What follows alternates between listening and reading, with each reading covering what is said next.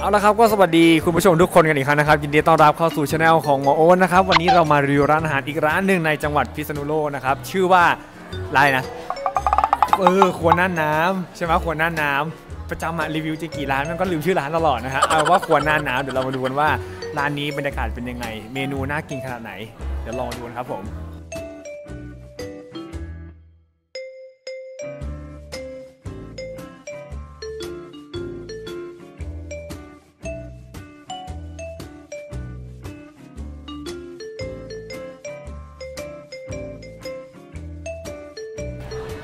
เอาละครับ ตอนนี้เมนูอาหารก็เริ่มทยอยทยอยมากันแล้วนะครับท่านผู้ชม ทีเนี้ยมันมีอยู่เมนู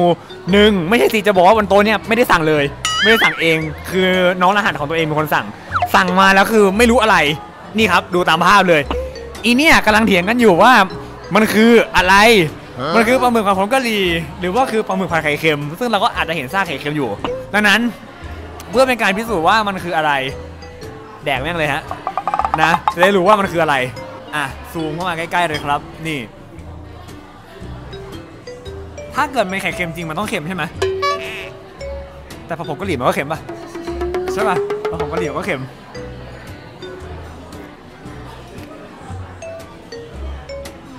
ไม่เค็มอะ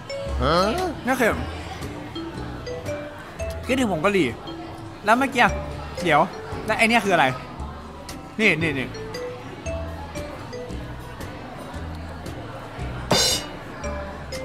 โอเคเค็มละ อันนี้เค็มจริง อันนี้เค็มจริงปลาหมึกผัดไข่เค็มรสชาติดีครับรสชาติดีไอ้ส่วนที่มันไม่โดนไข่เค็มอะ มันก็มีความเป็นเหมือนกับผงกะหรี่ออกมา แต่ว่าไข่เค็มแม่งเค็มจริงอะแม่งเมื่อกี้ไข่แดงเต็มๆเลยแม่งโคตรเค็มพอกินข้าว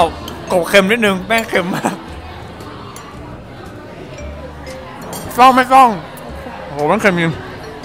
เดี๋ยวเรามาดูกันดีกว่าแม่เมนูต่อไปรสชาติจะเป็นยังไงครับผมเดี๋ยวตามกันเลยปะมาแล้วครับสำหรับเมนูต่อไปนะครับน่าดูในจานซูมซูมซูมนี่เลยเดาว่ามันคือแซบแห้งนะเพราะหน้าตามันเหมือนเหลือเกิน ทีนี้เราลองมาชิมดูว่าแซบแห้งเนี่ยมันจะแซบจริงหรือเปล่านะถือวิสาสะในการกินของอื่นเขาแล้วกันอืมอร่อย มันมีความหวานมัน แล้วก็เค็มอยู่ในตัวแต่ถามว่าแซ่บไหม ไม่ได้เผ็ดมากนะสำหรับใครที่ไม่ให้คอเผ็ดก็สามารถกินอันนี้ได้นะเป็นแซ่บแห้งที่ขอบอกว่าใช้ได้ครับ ถ้าอยากรู้ว่าอร่อยไม่อร่อยเดี๋ยวลองไปถามคนอื่นดีกว่าว่าคนอื่นเขาจะคิดเห็นยังไง กับรายการเมนูนี้ไปไปดูกันอะครับสำหรับเมนูแซ่บแห้งนะครับเดี๋ยวเรามาดูกันว่า ถ้าเป็นคนอื่นกินเนี่ยเขาจะรู้สึกยังไงครับ แนะนำตัวก่อนค่ะสวัสดีค่ะ เป็นน้องรหัสพี่โอนะคะ เดี๋ยววันนี้จะมาชิมว่าที่พี่โอ๊ตชิมเมื่อกี้มันจะอร่อยเหมือนที่พี่โอ๊ตบอกหรือเปล่าปังนั่นแหละ แกต้องจัดแล้วล่ะปะอ้าวลุยลุยสักคำหนึ่งแบบหมูมันละมุนมาก แต่ว่ามันอาจจะเผ็ดไปนิดนึงเผ็ดไปนิดนึงเผ็ดไปนิดนึงแต่เมื่อกี้ที่พี่กินเนี่ยแม่งไม่เผ็ดเลยแสดงว่าตอมรับความเผ็ดเราแม่งไม่เท่ากัน จริงอร่อยๆอร่อยใช่ไหมอร่อยอร่อยอร่อยอยู่หมูนุ่มมากเสียงอย่างเดียว ไม่รู้คิดเหมือนพี่หรือเปล่าทำไมแม่งเย็นแล้ว อ๋อใช่ แม่งเย็นแล้ว เอาละครับ ตอนนี้เรามาถึงเมนูอีกเมนูหนึ่งซึ่ง คือเนื่องจากว่าเรารอคนจะมาครบครับ แล้วคือกว่าจะมาครบเนี่ย ก็ไม่ได้กินสักที ซึ่งไอในจานเนี่ยมันคือกุ้งอบวุ้นเส้นเว้ยนะเรื่องธรรมชาติเราก็รู้ว่าวุ้นเส้นเนี่ยแม่งดูดน้ำและการที่ปล่อยแม่งทิ้งไว้ถึง 30นาทีเนี่ย มาดูสิว่ามันยังจะอร่อยอยู่หรือเปล่านะครับ ร้านจะรักษามาตรฐานได้ไหมถึงมันจะปล่อยไว้นาน นะครับอะใครใครเป็นคนรีวิววันนี้ไหนลองแนะนำตัวก่อนว่าเป็นใครอ่าชื่อตานะคะ เป็นน้องสายรหัสพี่โอ๊ตค่ะ ที่ไหนนะคะอยู่ปี 3 ค่ะ สามค่ะโสดไหมแหละโสดไหมไม่โสดตอบยังไงดีวะ โสดยากเลยโอเคเอาไม่โสดไม่โสดไม่ต้องเสียใจไปนะจะมีหลายคนโอ๊ย นะผ่านโอกาสปะเนี่ยโอ้ยโสดไหมโสดไหมโสดค่ะโสดค่ะจีบได้จีบได้จีบได้นะติดได้ฟ้องฟ้องฟ้องแล้วเฮ้ยมาชิมเลยดีกว่าพี่แมนมาดูสิว่ากุ้งอบวุ้นเส้นที่ทิ้งไว้ประมาณ 30นาที ยังนุ่มใช่ไหม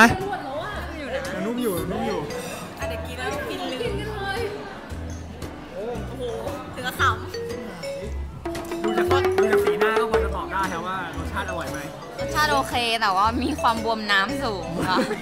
มันดูดน้ำไปเยอะนะมันกินน้ำไปด้วยกุ้งอบวุ้นเส้นเนี่ยแม่งดูดน้ำไปประมาณ 30นาทีฮะเราก็กินมันเข้าไปนะฮะนะ ให้ผ่านไหมผ่านไหมรสชาติผ่านค่ะผ่านค่ะ ใช่ไหมถือว่ารักษามาตรฐานการบวมน้ำได้ดีไหม ดีมากดีเป็นวุ้นเส้นที่มีชุ่มน้ำดีค่ะ ชุ่มน้ำดีนั่นแหละครับก็หากินกับคนใกล้ตัวนะฮะนะเอาละครับเมนูสุดท้ายนะครับก็คือปลาทอดสมุนไพรนะปลาทอดสมุนไพรนะ วันนี้กล้องมืดไม่เป็นไรเพราะว่าแสงมันค่อนข้างจะมืดอะเรามาดูดีกว่าเฮ้ยปลาเนี่ยค่อนข้างทอดออกมาได้ค่อนข้างกรอบนะครับแค่เอาซ่อมจิ้มลงไปเบาๆเนี่ย ปลาก็ขาดออกละนะ แล้วเขามีการ แร่ไม่ใช่แร่แร่แร่ออกมาก่อน แล้วก็เอาไปทอดนะครับทำให้ปลาค่อนข้างจะนิ่ม เดี๋ยวเรามาดูกันว่ามันจะนิ่มขนาดไหนอืมสมุนไพรเข้าเนื้อครับ นะกัดแบบปุ๊บมีความหอมของตัวสมุนไพรลอยแตะจมูกมาเลยน้ำจิ้มดีกว่าน้ำจิ้มเป็นยังไง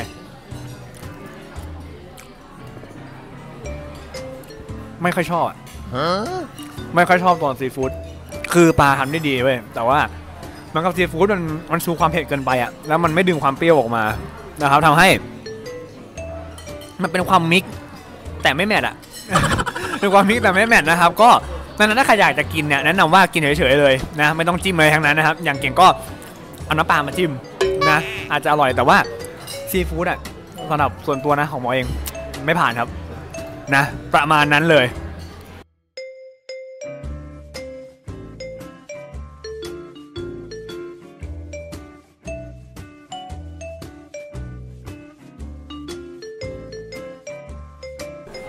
อเคครับก็จบกันไปแล้วนะครับ ระหว่างการทำรีวิวนะร้านน่านน้ำนะครับถ้าเกิดใครแวะผ่านมาจังหวัดพิษณุโลกก็สามารถมากินที่ร้านนี้ได้เขาบอกว่าอาหารใช้ได้ครับ ถือว่าผ่านนะยกเว้นตระกูลวุ้นเส้นนะะต้องเป็นตระกูลวุ้นเส้นนิดนึงเพราะว่าถ้าเกิดรอนานมันจะอืดมากนะครับอาจทำให้อาหารเสียรสชาติได้แนะนำว่าอาหารประเภททอดกับประเภทผัดนี่ร้านนี้ใช้ได้ครับนะร้านต่อไปจะเป็นร้านอะไร